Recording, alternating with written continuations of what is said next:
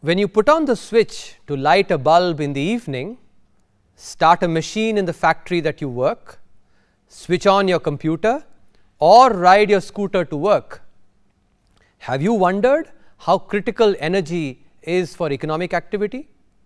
As all these appliances depend upon energy, you would realize that energy is vital for development and prosperity of any economy. India, however, lags behind significantly in energy usage.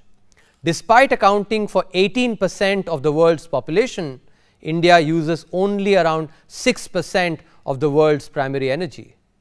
Energy poverty has been more pervasive in India than income poverty. In 2017, 53 percent of our population could not access clean cooking when compared to 30 percent for China, 4 percent for Brazil and less than 1 percent for Malaysia. If we can increase our per capita energy consumption by about two and a half times, we will fulfill one of the key necessities for increasing our real per capita GDP by about 5000 US dollars. Quadrupling our per capita energy consumption can enable us to reach the human development index of about 0.8 which corresponds to a high level of human development.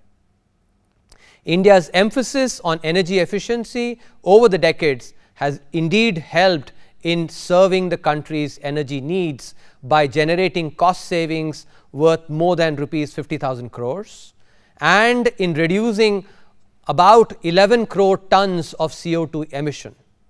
To increase the share of renewable energy, usage of electric vehicles need to multiply manifold in the country.